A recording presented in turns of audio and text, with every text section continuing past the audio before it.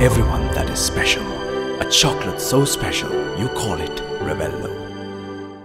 අද දවසේ මට පෙස්සමක් පිළිගන්නට යෙදිලා තිබුණා. මම රාජගිරියෙන් එනකොට පොලිසිය මාව නතර කරා. මං කරුණු පැහැදිලි කරලා මං ඊළඟ තැනටකොට ඒ කට්ටිය මැසේජ් එකක් දීලා තව තැනක නතර කරා. එතනින් එනකොට තවත් තැනක නතර කරා. මේ හේතු නිසා මට මේක ඉදිරිපත් කරන්නත් බැරි වුණා. ඔබතුමා ඉදිරිපත් කරන්න.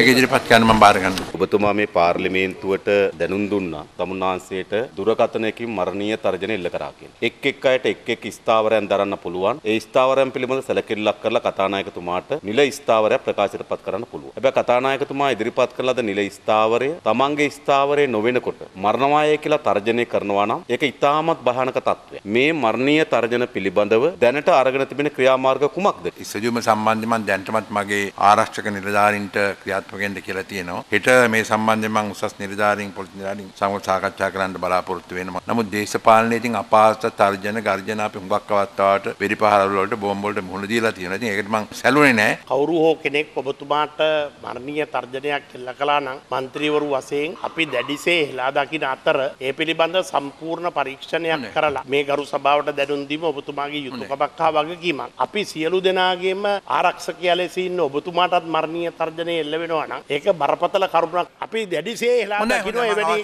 ඔබතුමාලගේ ඔබතුමාලගේ සහයත් ප්‍රාර්ථනා කරනවා. අද මම සන්තෝෂ වෙනවා. සන්දානෙට ලැබිච්ච විනාඩි 81කින් 61ක්ම තමුන්නාන්සේ ලබා දීලා තියෙනවා.